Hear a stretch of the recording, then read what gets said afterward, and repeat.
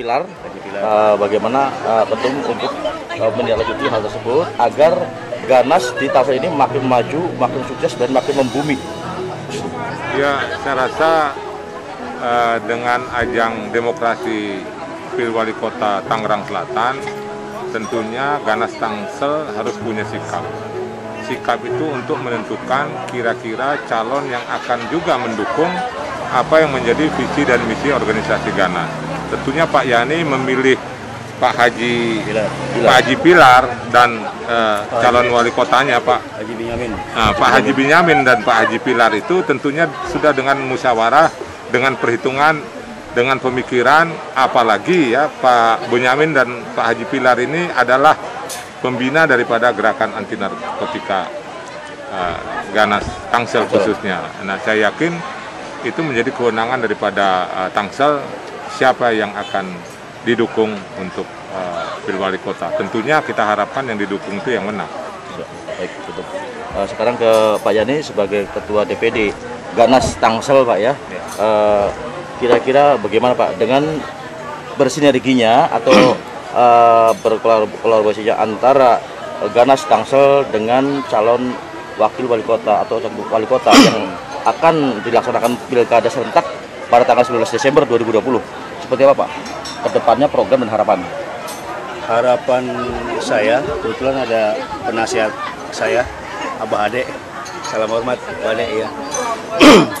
harapan saya, eh, dukungan yang Ganas Tangsel berikan ke beliau agar eh, maju dan nantinya kita harapkan bisa berhasil menjadi wakil wali kota uh, mampu uh, apa namanya bisa untuk bersinergi dengan kami dan selalu Ganas bisa uh, mendapatkan apa yang diharapkan. Artinya kita uh, butuh sekali uh, pendamping uh, dari lembaga pemerintahan birokrasi yang mana sampai saat ini kita sulit sekali untuk bisa menembus ke jalur birokrasi. Maka dengan dukungan yang Ganas Tangsel berikan, mudah-mudahan bisa membuka peluang teman-teman Ganas untuk bisa uh, apa namanya uh, uh, merealisasikan apa yang sudah uh, kita uh, programkan yang selama ini program tidak berjalan secara maksimal dikarenakan kendala finansial artinya tidak ada tidak adanya dukungan dari pemerintah uh, setiap kali kita berkegiatan. Baik. Uh, Ganas Tangsel Pak terdiri dari bada, uh, kecamatan ada berapa Pak? Ada tujuh kecamatan, uh, kecamatan Pondok Aren, Serpong, Serpong Utara, Pamulang, Ciputat, Ciputat Timur, dan kecamatan Setu. Dan masing-masing kecamatan masing-masing ada uh, pengurus Ganas Pak? Eh, masing-masing kecamatan kita punya DPC-DPC. Memang ada beberapa DPC yang belum kita lantik dikarenakan pandemik yang saat ini sedang berlangsung. Insya Allah uh, setelah uh, apa namanya uh, pandemik ini selesai, kita akan ada yang namanya pelantikan-pelantikan di tingkat kecamatan atau DPC. Baik, program-program yang telah Bapak lakukan uh, sebagai Ketua DPD uh, Ganas Tangsel itu apa saja Pak yang sudah dilakukan oleh uh, Tangsel? Sebenarnya kita melaksanakan program uh, efektivitas yaitu sosialisasi di lingkungan masyarakat melalui lembaga pemerintahan yaitu kelurahan dan sosialisasi pencegahan bahaya narkoba di, di lembaga pendidikan yaitu melalui sekolah-sekolah sekolah-sekolah agenda apel bendera upacara bendera dan kebetulan uh, Gana sendiri yang menjadi inspektur upacaranya dengan menobatkan uh, duta-duta anti narkoba pelajar di setiap sekolah yang sudah uh, kita laksanakan sosialisasi tersebut. Ya, ya. Uh, satu hal uh, Pak Yani mengenai uh, target dari kerjasama tadi ya. antara calon wakil ya, ya, wakil wali kota uh, seperti apa? Mungkin tahu. Target dari Ganas adalah satu merealisasikan semua uh, eh, DPC dan PAC yang sampai saat ini kita belum uh, lahirkan atau kita ciptakan ya. Hmm. yang tertunda. Terus yang selanjutnya adalah uh, mewujudkan cita-cita uh, Ganas agar di Tangerang Selatan ini lahir Perda narkotika. Dan ya. ini alhamdulillah sedang digodok dan insya Allah akan disahkan. Dan manakala itu disahkan, maka kami teman-teman semua artinya uh, dengan mudah bisa melaksanakan program yang uh, pemerintah buat tersebut. Oke, satu lagi uh, buat ketum. Buat ketum. Apa yang akan uh, Ganas lakukan uh, terkait uh, Hari Anti Narkotika Internasional? Ya, uh, kita akan melakukan evaluasi dari sisi sistem penanganan, bukan dari hasil ya. Tentunya karena dari hasilnya seperti apa, tentunya sistem penanganan manajemen baik eh, sesuai dengan hukum positif maupun eh, hal-hal eh, yang harus ditambahkan dalam mencapai tujuan penanggulangan narkotika. Salah satunya adalah kita akan minta dan segera menyurati pemerintah CQ Presiden untuk segera mengeluarkan peraturan pemerintah terkait dengan peraturan pelaksanaan dari Undang-Undang Narkotika nomor 35 tahun 2009 khususnya bab 13 pasal 104, 105, 106, 107 peraturan pelaksanaannya di peran sertanya itu belum ada tapi khusus terkait dengan pemberian apresiasi unsur masyarakat, unsur organisasi anti narkotika yang akan memberikan eh yang akan mendap, memberikan informasi kepada BNN dan Polri di pemerintah kita minta diberikan insentif. Mungkin maksimum sampai mungkin terserah pemerintah. Maksimum mungkin tertinggi 200 juta. Jadi seluruh masyarakat nanti kita harapkan punya spirit, punya semangat gotong royong untuk membantu polisi dan BNN untuk memberikan informasi yang akurat sehingganya imbal baliknya bentuk apresiasi adalah diberikan insentif berupa uang. Itu aja yang paling penting. Iya. Hmm. yang kedua mungkin kita minta juga pemerintah agar melibatkan TNI dalam penanggulangan narkotika. Di undang-undang uh, eh, TNI tupoksinya narkotika ini eh apa namanya uh, teroris sudah bagian daripada tupoksi TNI. Nah, kita harapkan narkotika ini di dalam undang-undang TNI bagian juga dari tupoksinya, tugas pokok fungsi TNI. Sifatnya di sini membantu BNN dan membantu kepolisian. Jadi saya rasa ini suatu keharusan karena TNI dikala dalam posisi dia tidak perang, kita fungsikan. Bayangkan itu koramil-koramil yang ada di pesisir ya, di seluruh Indonesia kita jadikan sinergi ujung tombak dengan polsek-polsek.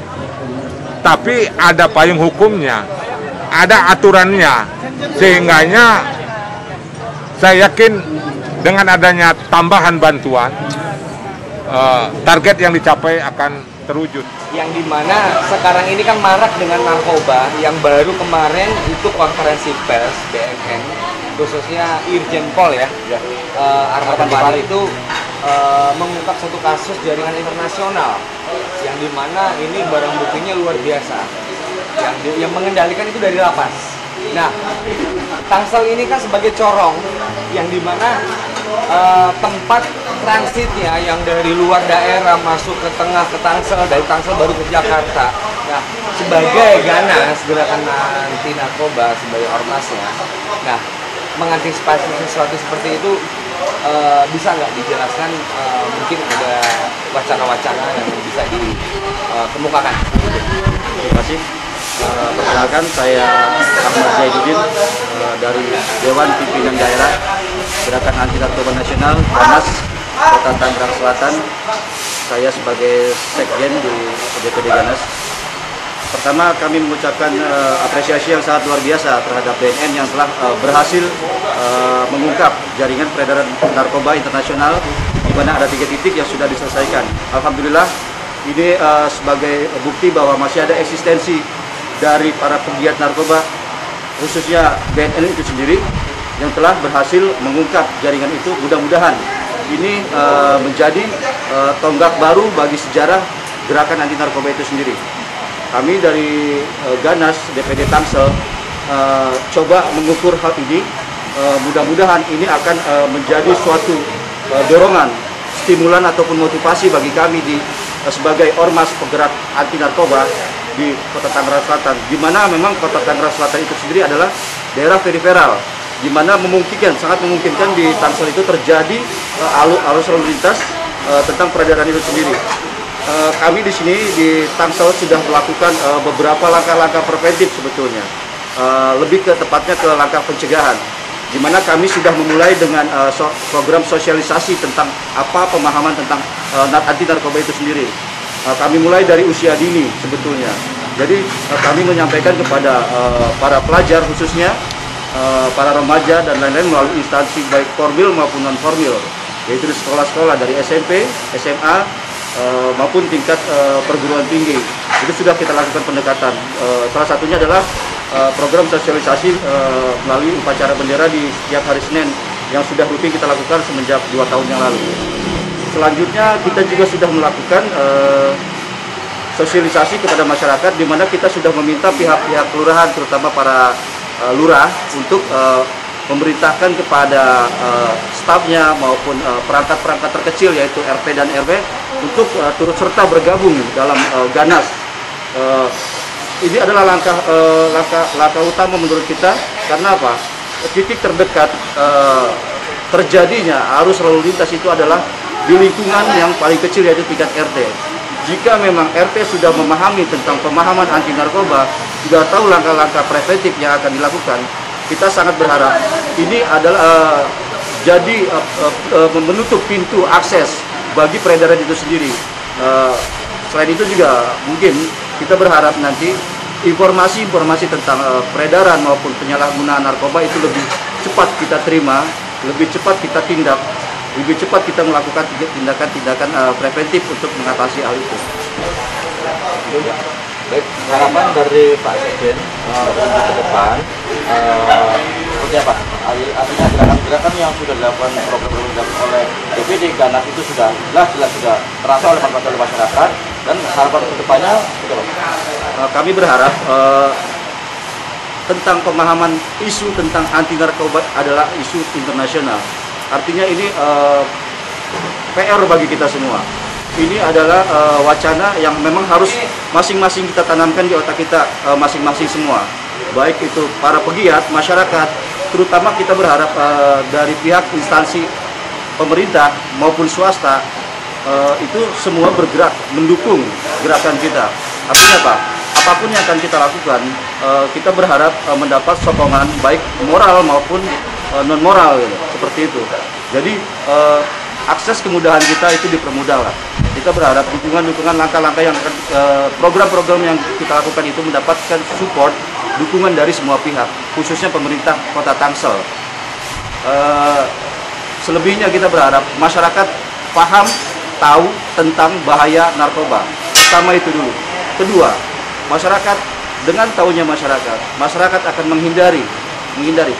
Jika kita sudah menanamkan pemahaman itu, penggunaan narkoba pasti bisa ditekan. Ketika masyarakatnya sadar, ketika masyarakatnya tahu, penggunaan penyalahgunaan narkoba itu pasti bisa ditekan seberat apa pun se, se, se apa serapat apa pun kita melakukan barikade untuk menentang narkoba ketika memang masyarakat tidak memahami itu akan sulit menurut saya seperti itu. Uh, terkait dengan hari ulang tahun Polri yang ke-74 dan uh, hari ulang tahun anti narkoba uh, hari ulang tahun narkotik internasional seperti apa harapan-harapan uh, dari Pak Ibrahim untuk uh, ke depan?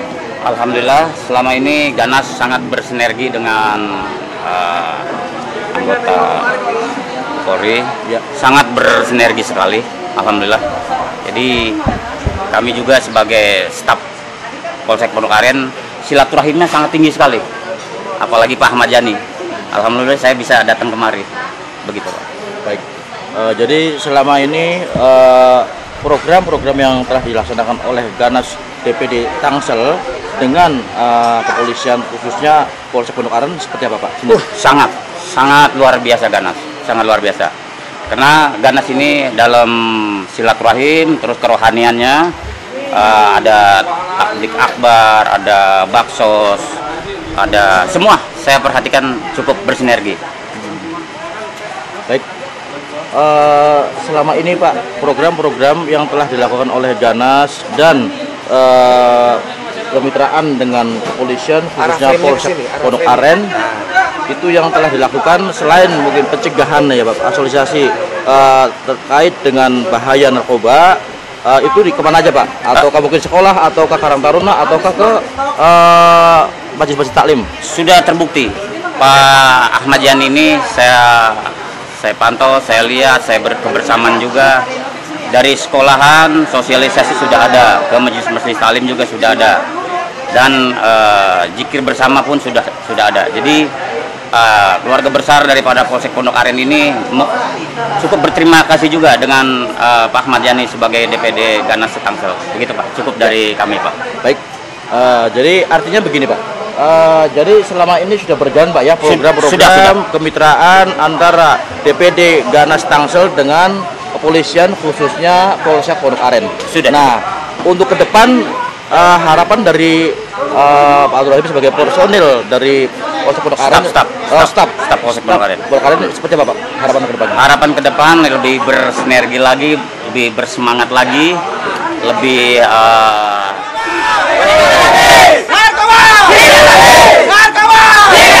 Lên ơi!